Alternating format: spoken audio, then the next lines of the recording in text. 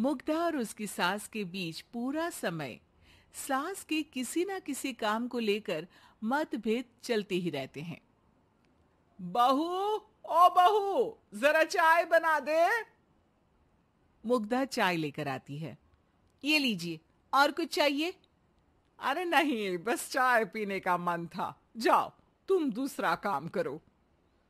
चाय पीने के थोड़ी देर बाद सास दोबारा मुग्धा को आवाज़ लगाती है। अरे बहू रे आओ बहू, जरा हलवा तो बना दे। मीठा खाने को मन हो रहा है। इसी तरह मुग्धा की सास पूरा समय कोई ना कोई काम बताकर उसे रसोई से बाहर तक निकलने नहीं देती। कभी चाय, कभी हलवा, कभी पानी तो कभी दूध, हर समय खाने को चाहिए। और उसके लिए अपने हाथ पर बिल्कुल नहीं लाने। परेशान किया हुआ है इन्होंने।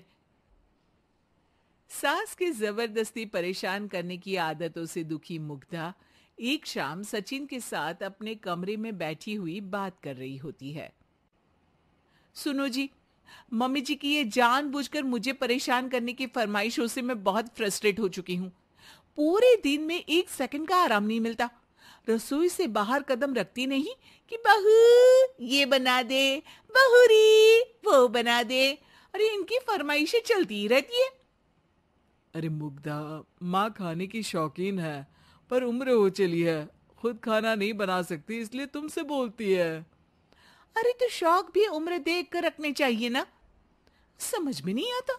हर समय फेविकॉल का जोड़ लगाए सोफे से चिपकी बैठी रहती है। इतना सब डाइजेस्ट कैसे हो जाता है उन्हें? अरे, तुम मेरी माँ से इतनी नफरत कैसे कर सकती हो? मैं उसे नफरत नहीं करती जी, बस परेशान हूँ। जहाँ मुक्ता अपने पति से ये सब बोल रही होती है, वहीं उसकी सास भी कमरे के बाहर दरवाजे से कान लगाए सारी बातें सुन रही होती है और अगली दोपहर रसोई में मुग्धा के पास जाती है।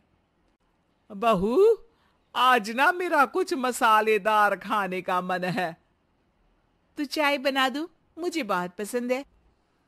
अरे ना अरे ना ऐसा कर लिट्टी चोखा बना ले। और हाँ जितना मसाला बातों में मिलाकर पति को सुनाती हो ना सब्ज़ी में भी वैसे ही डाला करो खाना स्वादिष्ट बनेगा। सास की बात सुनकर मुग्धा हैरान रह जाती है। मतलब? पूरा समय मुझ पर हुक्म चलाने के साथ बंद कमरे में हुई पति पत्नी की बीच की बातें भी सुनती है। अरे बात जब मेरी थी तो सुनने में क्या दिक्कत है? ये कहकर सास वहाँ से चली जाती है। अरे अब तो हद पार हो गई। इस तरह से तो ये मेरा जीना मुश्किल कर देंगी। मुग्धा सास की हरकतों से परेशान उसका हल सोचने लगती है। और इसी तरह कुछ दिन बीत जाते हैं, जिसमें सास का जन्मदिन आता है। मुग्धा बहुत खुशी के साथ अपनी सास को एंड्रॉयड मोबाइल गिफ्ट करती है। मम्मी, आपको सबसे बात करने के लिए बहुत दिक्कत होती है ना? कभी सचिन तो कभी मुझे बोलना पड़ता है, पर इस मोबाइल से आपको कोई दिक्कत नहीं होगी। एक जगह बैठे बैठे बहुत कुछ कर सकती हैं अब आप।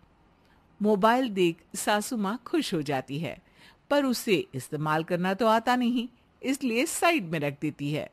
जिसे देख मुग्धा घर का सारा काम छोड़ मोबाइल सेट कर सास को इस्तेमाल करना सिखाने लगती है। जिसके बाद अब सास पूरा समय मोबाइल में ही लगी रहती है। हाय, जब से मम्मी को मोबाइल मिला है, मेरी लाइफ में कितनी शांति आई है।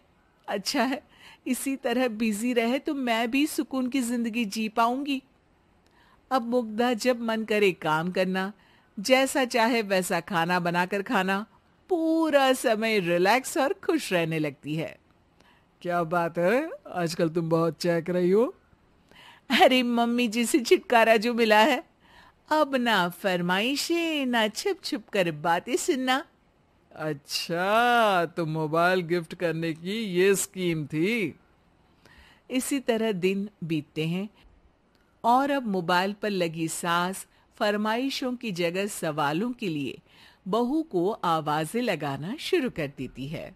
अरे बहू, सुन तो। देख जरा किसी का फ़ोन क्यों नहीं मिल रहा? रिचार्ज खत्म हो गया है, पर अभी चार दिन पहले ही तो मैंने किया था। इतनी जल्दी कैसे खत्म हो गया?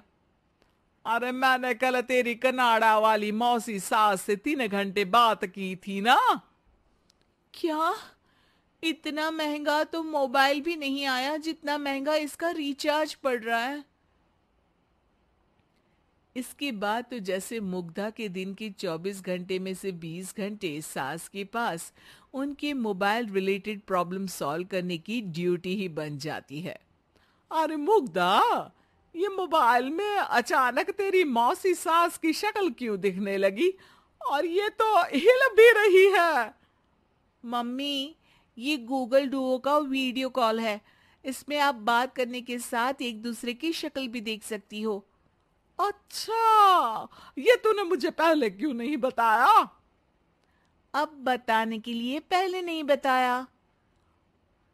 इसी बीच सचिन भी वहाँ आ जाता है और सास अपनी वीडियो कॉल में बिज़ी हो जाती है। क्यों?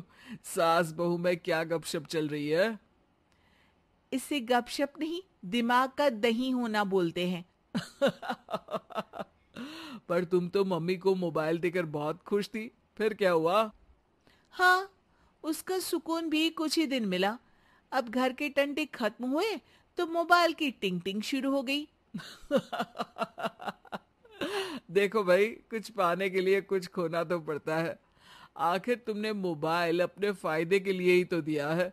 तो फिर सवालों के जवाब भी देने पड़ेंगे, क्योंकि जब तक उनके हाथ में ये फुथरू रहेगा, तुम्हारी लाइफ में प्राइवेसी और सुकून रहेंगे।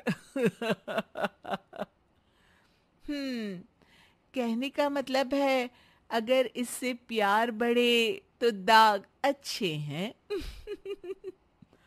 अरे, मुझे पहले दिन से ही पता है, मोबाइल किस मकसद से दिया गया है। भूलो मत, इससे पहले मैं बातें ही सुनती थी। सास की ये बात सुनकर मुग्धा शौक में और सचिन हंसता रह जाता